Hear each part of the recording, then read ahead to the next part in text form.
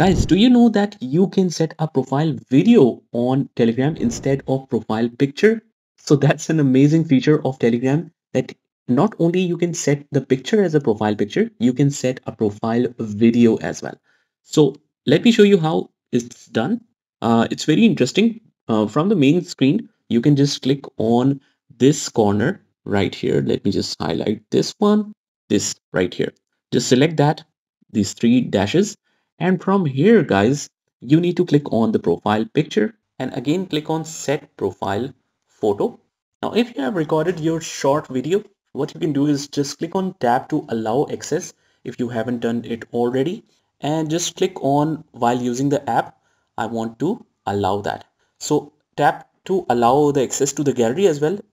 That just need to be done if you're using this for the first time. So I have freshly installed this. That's why it's showing this allow the limited access you can set it like that. And you can set uh, to allow all so that you can set and allow any of the pictures so let's say this one is the picture that I want to set as a profile video. Just click here. And as you can see we can set it however we want.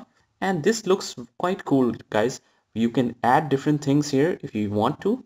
Uh, just like that uh, if you want to uh, just insert a sticker or an emoji whatever we like we can add in here something like that. So this is how it's done. You have all the customizations there as well.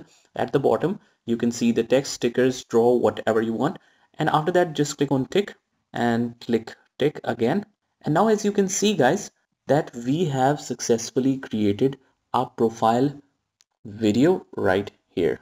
So I think that's an amazing option to try so just try it by yourself. And guys if you want to learn more amazing tips and techniques on telegram you can join the complete playlist link in the description. And I'll see you in the next one